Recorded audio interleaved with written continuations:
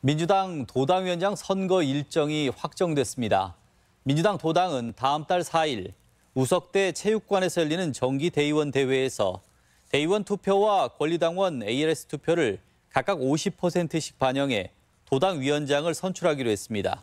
권리당원 ARS 투표는 다음 달 2일부터 이틀간 실시됩니다.